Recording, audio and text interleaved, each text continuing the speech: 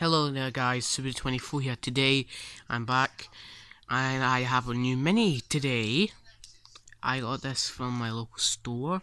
This was the last blind bag they had. Um, it was a Wave 1, 2017 Wave 1. Take off the item I was wearing. But yeah, I've got all my minis here. So today's new mini is Animal Hiro. I really like this one. Get a close up of him. It looks like a leopard. It's got leopard spots on him. I really like this one. And I'm happy to get this one.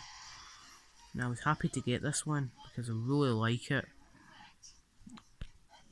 So yeah, welcome Hiro. Welcome Animal Hiro. So what do you think of him guys? Drop a score and drop a comment and also subscribe if you're new.